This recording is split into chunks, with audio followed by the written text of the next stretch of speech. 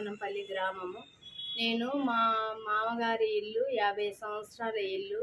అది కూలి వర్షము కురవడం వలన నేను కూల్చి దాన్ని కొత్తగా నిర్మించుకోవటానికి నేను ఇంటి పర్మిషన్ అడిగినాను. ఇంటి పర్మిషన్ అడిగితే ఆమె నాకు పైసలు డిమాండ్ చేసింది. ఎంత అంటే రెండు లక్షలు అని అడిగింది. రెండు లక్షలు మేడము విలేజ్ సెక్రటరీ. రెండు లక్షలు డిమాండ్ చేసింది. రెండు లక్షలలో అంత లేదమ్మా నేను ముప్పై ఇస్తా నలభై ఇస్తా అంటాని నలభై యాభై అంటాని ఇట్లా నన్ను సతాయిస్తుంది. సతాయిస్తే ఆఖరికి నేను డెబ్బై వేలు ఒప్పుకోవడం జరిగింది. డెబ్బై వేలు ఇచ్చినను. డెబ్బై వేలు తీసుకొని పై అధికారులకు వంచినను మళ్ళీ ఇంటి పర్మిషన్ ఇవ్వలేదు నాకు. ఇంటి పర్మిషన్ ఇవ్వలేరు మేడం. మీరు అడిగిన అమౌంట్ నేను ఇచ్చిన కదా నాకు ఇంటి పర్మిషన్ ఇవ్వలేరు అంట నేను మళ్ళీ అడిగిన. పై అధికారులకు పంచడం వలన నాకేం మిగలలేదు శశికళ. నాకు మళ్ళీ అమౌంట్ కావాలి అంట అని అడిగింది. ఎంత అంటానంటే ముప్పై వేలు అన్నది. నేను అంత ఇచ్చేటట్లు లేను మేడం. నేను డెబ్బై వేలు ఒప్పుకున్నా డెబ్బై ఇచ్చిన. అంటే ఇరవై ఐదు వేలు చూడు ఇరవై చూడు ఇట్లా సతాయించింది. ఆఖరికి పదిహేను వేలు ఒప్పుకున్నా. పదిహేను వేలు నేను తీసుకొని డెబ్బై వేలు పదిహేను వేలు.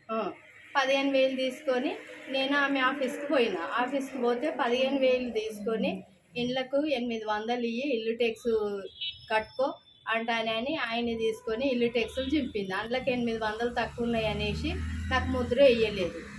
ముద్ర వేయకుండా నాకు ఉత్త ఇల్లు ట్యాక్సులు చింపి ఇచ్చేసింది. ఇచ్చినాక మళ్ళీ పర్మిషన్ కోసం నేను మళ్ళీ ఆమెను ఫోన్ చేసి అడగడం జరిగితే నాకు ఆ పైసలు సరిపోలేవు శశికళ మళ్ళీ పైసలు పైసలు నేను నా దగ్గర లేవు మేడం నా పరిస్థితి బాగలేదు. నేను భర్త లేనామెను నేను ఎక్కడికి వెళ్ళి తేవాలి? నాకు ఇల్లు కట్టుకోవటానికి సరిపోవు అంటే మళ్ళా ఇదే విధంగా పదిహేను వేలు ఇరవై వేలు ఇట్లా డిమాండ్ చేసి ఇంకొక పదిహేను వేలు ఒప్పుకున్నా. అవి తీసుకొని ఈడికిరా శశికళ డాబా కాడికి అంటే డాబా కాడికి పోయినా. అక్కడ మా ఊరోళ్ళు చూడడం వలన ఇక్కడ వద్దు శశికళ వెంచర్లకు రా అన్నది వెంచర్లకు పోయి పదిహేను వేలు ఇవ్వడం జరిగింది. పర్మిషన్ ఇప్పటి వరకు నాకు పర్మిషన్ ఇవ్వలేదు. కట్టుకో నేను ఎవరు ఆబ్జెక్షన్ చేస్తుండ్రు? కట్టుకో. నేను ఉన్నా కదా అంటే మేడం నేను ఎన్ని పైసలు ఇచ్చినా నాకు పర్మిషన్ ఉంటే ధైర్యం ఉంటుంది. పర్మిషన్ లేనిది ఎవరు వచ్చి అడిగినా కాగితం లేకపోతే నాకు కష్టమవుతుంది కదా మేడం. అంటే ఎవరు వస్తుండ్రు? నేనే ఉన్నా కదా? ఎవరు రావట్లేరు? కట్టుకో. నువ్వు రేపే పిల్లర్లు వేసుకో. అది ఇది అంట అని అంటున్నది. విలేజ్ శ్రావణి.